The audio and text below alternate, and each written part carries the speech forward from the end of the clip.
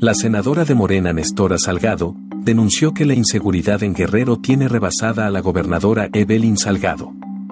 La legisladora advirtió que tiene miedo porque hasta ha recibido amenazas de muerte.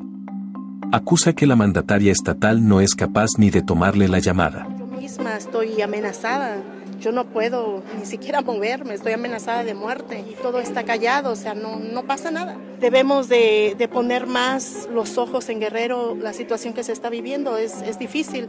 Llega una gobernadora mujer, de lo cual nos sentimos orgullosas, orgullosos, pero yo quisiera ver un poquito más, pues, ¿no? De, de buscar esta paz. La violencia es, es grave, o sea, esto está fuerte.